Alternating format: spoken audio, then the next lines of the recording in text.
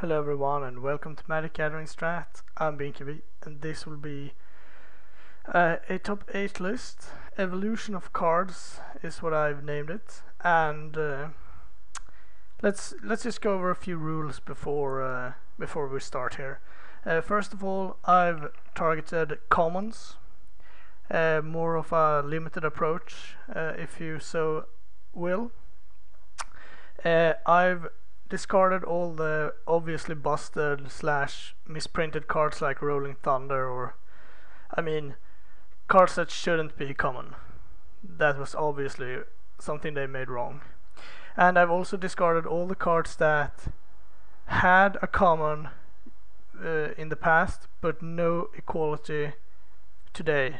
Uh, let's say Pestilence for example. Uh, I don't think it would be common today anyway but there is nothing like Pestilence today, so that card cannot be in here.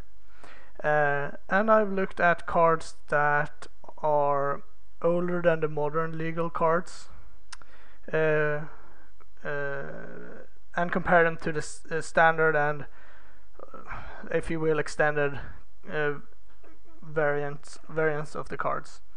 So, um, was there anything else? Uh, yeah, I've also uh, tried to keep it to cards, not only cards but also um, uh, a card card slot or a card equality. Let, let's say um, let's say Hill Giant. Everyone knows Hill Giant. And when you get a similar card in draft, you say, oh, I drafted a Hill Giant with upside or downside or something cards like that is what I've tried to capture in this list. So let's let's start and uh, reveal the honorable mention. Uh, the honorable mention is Lightning Bolt. Uh, it was printed in alpha and uh, today there's nothing like it. Uh, the closest thing would be something like Annihilating Fire. Lightning Strike would also fit but I think that's that's somewhat more rare to have in a in a non-core set these days than anything else. So annihilating fire gets the nod. And I've tried to uh, find some middle ground. So let's say there were one card for 5 and one card for 2 I would try to get something in between. So you can see for yourself 1 mana 3 damage 3 mana 3 damage. It's like it's not even close. And the exile thing was somewhat relevant I suppose but yeah the context of the card does not push it up to lightning bolt range.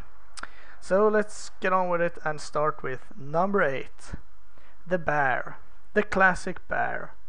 Uh, everyone knows what a bear is. It's a 2 mana 2 2 uh, now it could be a 2 1 as well but mostly a 2 power guy for 2 uh, for 2 mana so Grizzly Bears represents the old bears. And the evolution of this card has come to a card like Atarka Beastbreaker. So here you have the 2 2 4 2. The 2 2 4 2 back then was highly playable. You picked it pretty early, if you will. Compared to the evolution of the card Atarka Beastbreaker, a 2 2 4 2 with a fantastic upside.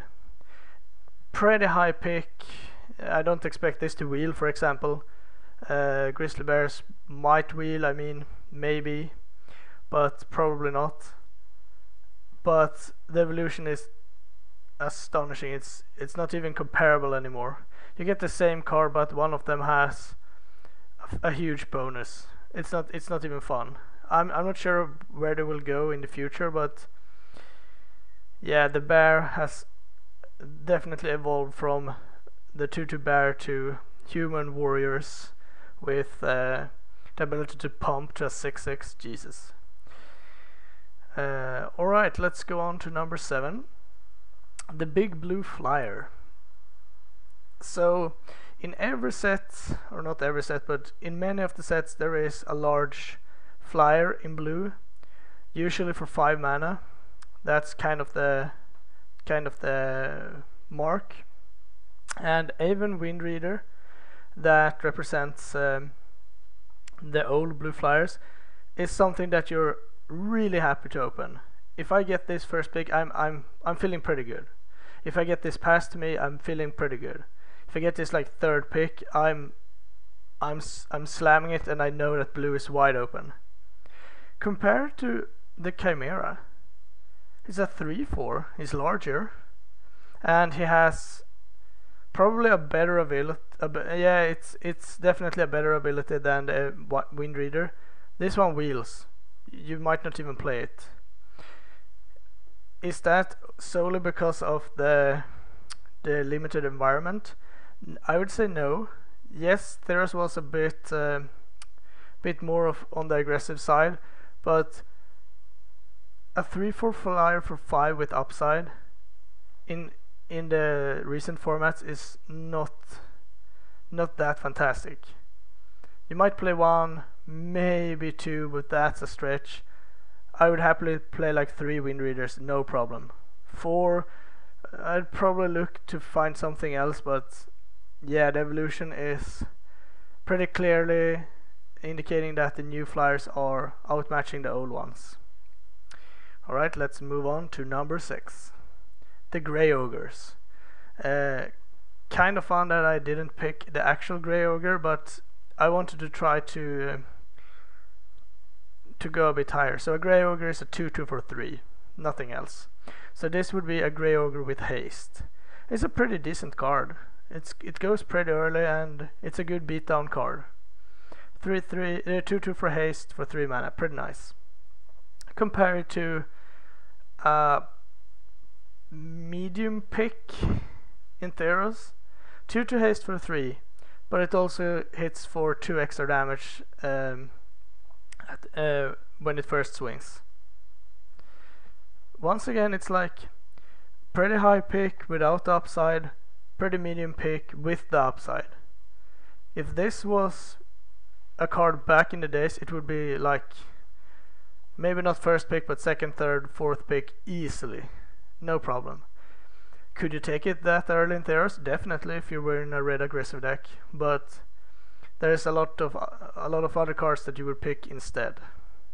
So the Grey Ogres evolves pretty fast as well. They, they already started to evolve back in the days. Let's go on to number five.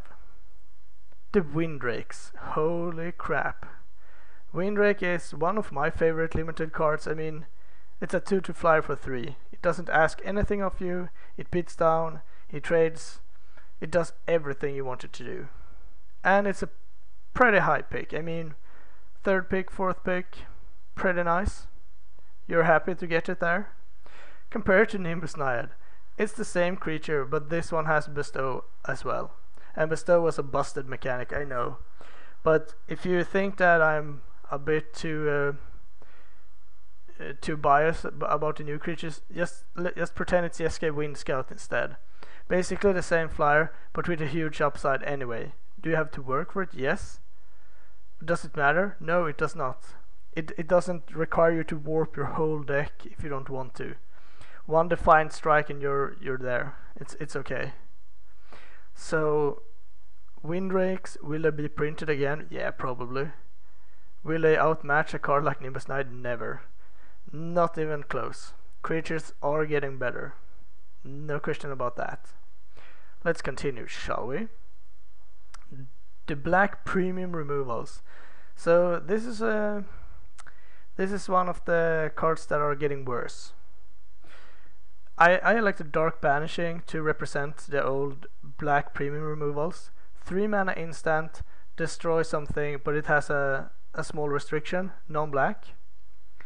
Uh, compared to today's comparison, I mean there is a few you could pick from. I chose Reach of Shadows because it's pretty similar. 5 mana instant, basically the same restriction. I mean, it, this can't target uh, monocolor or multicolor. This can't target black. It's it's. I'd say that it's probably about the same. This would be worse, I think. Today, nah, probably not. If it was this restriction, but yeah. Overall, the black common removal are getting bad. We have seen it in the previous sets like Rites of the Serpent. Um, what was that called in uh, Innistrad, like five mana destroy something sorcery. You gain life. It was if it was a human, I think. I mean, they're getting more expensive. That's the thing. Is that a good or bad thing? I don't know. Uh, I think it's pretty nice to pick up a removal spell that I'm happy to play versus Reach of Shadows. That they, they somewhat feel like uh, alright I feel a bit guilty to take it. I mean if it's like if it's between this and uh, let's say a decent black flyer for 3 or 4 mana I'd probably take the flyer. Because it's just better to have creatures than the expensive removals alright let's move on to number 3 the blue draw spells. So I think now we have like five or six different blue draw spells in the Khans of Tarkir block. We have uh, the inspiration variant, we have uh, the draw discard, we have treasure cruise, we have I mean there's so many different versions. Back then a card like Dream Cache was pretty high. I'd be happy to pick this up in the few first few picks. And it's 3 mana sorcery, draw 3, choose 2 cards, whichever you want, and put them both either on top or bottom. So if you use this early, let's say you want lands and you draw you draw 3 cards, you probably find a land. Then you can choose to put two bad spells on the bottom or if you have all good spells you just put them on top. If if it's later in the game and you have let's say two lands in hand and you draw this it's just draw three cards for two mana. And you don't have to put them on top you put them on the bottom. It's such a good card that it's very hard to I just can't um, can't explain it in a short sentence. It's very good let's just say that. Compared to divination three mana sorcery draw two cards that's it it will never do anything else than that is this a very high pick in draft? Sometimes it is. In Mad M14, I think it was like one of the best cards you can open, besides Opportunity and Super Bombs or extremely good removal. In M15, I think it was printed. It was like uh, medium, six, seven, eight. You you end up playing one or two maybe, but you weren't that happy. Other versions of divination are you happy to play them? Uh, some of them you are some of them you're not. They have they have been downgraded significantly. Dream cache and uh, the other uh, cards like it like sift and the other ones they're just way better. Several notch above divinations and stuff and divination are fine I'd play divination if the deck supports it or if I can make the deck support it more like. So yeah, blue draw spells have gone down. And I know Treasure Cruise is banned and stuff, but that's constructed. It was not as good in limited. So don't don't give me that. Let's move on to number two, and now it's getting pretty busted. Looters. Come on. Is it too much to ask to get a decent looter? So Merfolk Looter was the staple looter for several years. A 1-1 for 2 mana that draws a card and discards a card. No mana requirements, nothing. So a 1-1 is almost... Mm, it's not a card. It's like a quarter of a card or something. It's it's not good. You might may, might get to chump block something one turn, but you're playing this card for the ability, nothing else. So what has happened from then up until today?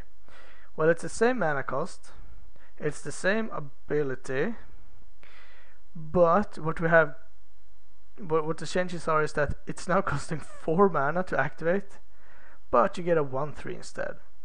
So you get a decent blocker out of the deal, but a horrible looter. What's weird is that this is still a decent playable in draft. In Magic 15 it's it's actually pretty good. It's not the high pick. It's not something you pick up in the first couple of picks, but seventh, eighth, ninth, that's okay. And you would play one, you would play two, and you'd be happy to activate the ability once you get there and uh, the game has stalled out. And that's what's a bit scary because those are like first, second, third, fourth pick, and you would always play them, and they're really good. But the research assistant is just so bad in comparison, but you still play it, and you still get to activate the ability sometimes.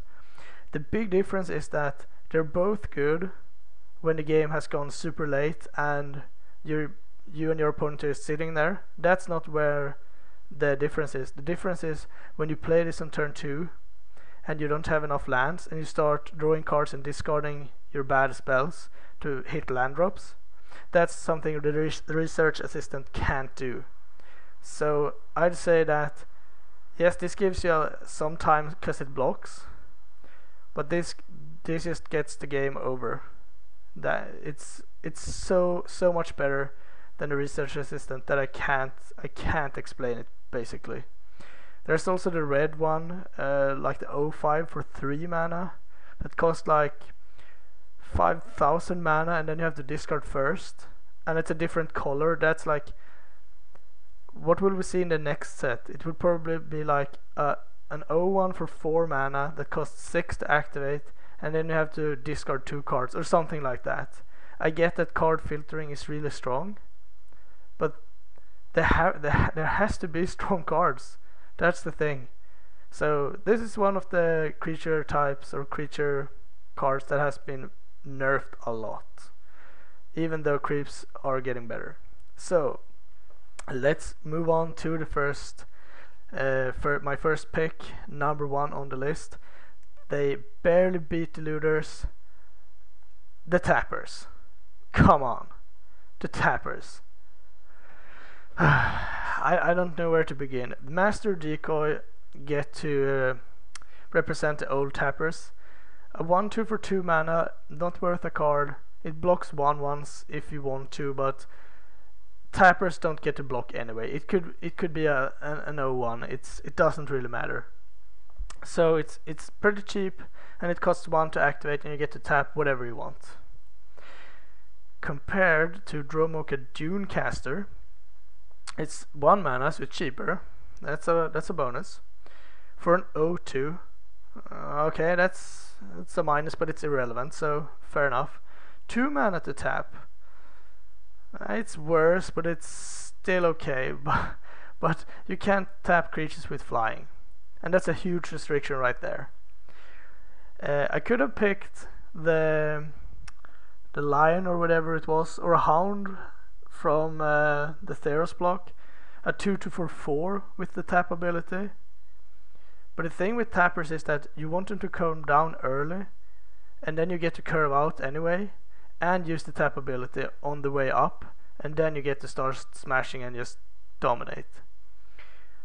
When they cost 4, you play like a 2 drop and a 3 drop, and they play the same, and you can't attack, then you play your tapper, then they play something big, and you can still you, you still can't attack. And then you you have to take yourself out of the curve again and you can't can't still can't attack. And then they play something else and or kill your tapper and get a huge bonus because it's so expensive. That's not it's not gonna cut it. I will give the Dunecaster the benefit of being better in a in an in another set besides a set that is clustered with dragons and stuff with flying in in another set with a less density of flyers it might be decent but here it's like you get it 12th pick and that's like ah, take it for signaling. And you end up with 3 in your sideboard. If you play one in your main board you're pretty sad.